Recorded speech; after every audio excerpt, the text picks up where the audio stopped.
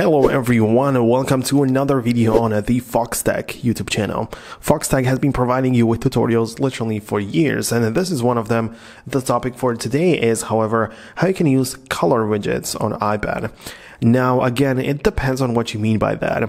You may mean for example adding more colors to your widgets in general. In that case you don't really have that much option to customize, for example, the color of the battery widget or anything like that, but you still have the option to hold down on the screen you can tap on uh, the plus icon to add new widgets and you can just scroll through them as much as you want. And let's, for example, add something which is much more colorful.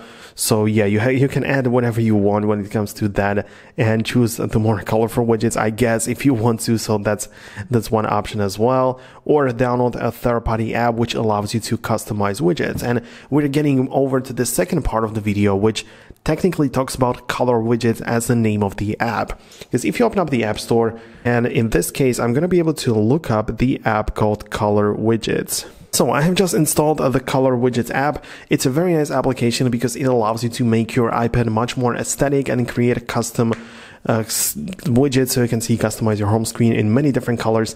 So that's very, very useful. And that's why, uh, that's what you probably mean by how you can use color widgets. So once the app loads up, I'm going to show you exactly how you can use it. So you can see I can tap on open. It's going to get me inside of this app. So hit continue you can see you can skip through it in case you understand how it works. You have to add them so continue. You don't have to pay for the subscription. If you don't want to just yet perhaps then you're going to be able to subscribe. Okay so right now we can see color widgets inside of the app you can see how you can customize the widgets and see how you can use them so that's very useful.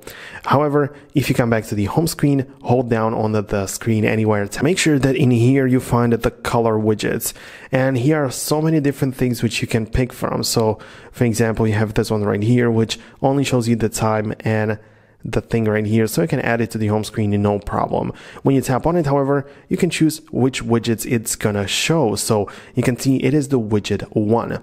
So inside of the app, you can customize the widgets as much as you. By the way, guys, if you want to know everything about your iPhone apps, you have to click the link down below in the description. It's a 100% free education platform where I publish like video editing courses. There is going to be the all apps explained course, which is coming up. It's going to explain every single app on your iPhone. It's going to be really cool. So go ahead and check out that link. It's free to access. So yeah, go ahead and do that right now. Want?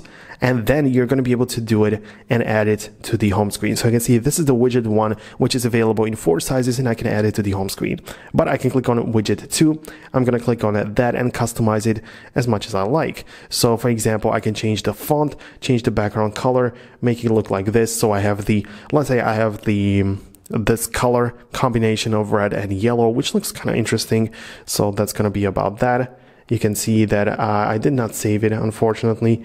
So like that, make sure you click on set widget and I'm going to click on replace widget 2. That's how it works. Now when I come back to the home screen and hold down on this widget like this, you can see I'm going to edit widget. It's going to flip like this, tap on widget, tap, tap it on widget 2. When I come back, it's going to show me the red and yellow one. And that's how you can basically customize it. That's how you can decide what you like, change the color combinations, and customize your widgets and add them to the home screen as much as you want. So that's really another way how you can customize it, make it more colorful. And that's basically the guide on how you can use color widgets on the iPad. Of course, I'm not going to go through every single thing you understand that you, for example, click here and choose a very specific color, or you probably know that you can go for the pro widgets in, case you purchase the pro uh, subscription. You can see here are some free ones, some, yeah, of course, it depends. So it doesn't matter which one you choose. This is the, the paid one. In case you want to use that, you need to subscribe. You understand that point, but I just wanted to show you how you can add it to the home screen, switch it in between and add it inside of the app and customize it. So that's basically everything what I wanted to show you. Thank you very much for watching. Hope you found this video useful. If you did, make sure to leave a thumbs up, but definitely subscribe down below so you never miss future videos and tutorials like this one. Thanks all for watching. See you guys later. Peace out until then.